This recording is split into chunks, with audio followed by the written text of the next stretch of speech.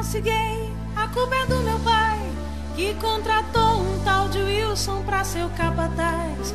Eu vi o bofe tomar banho e o tamanho dessa mala era demais. Além de linda, era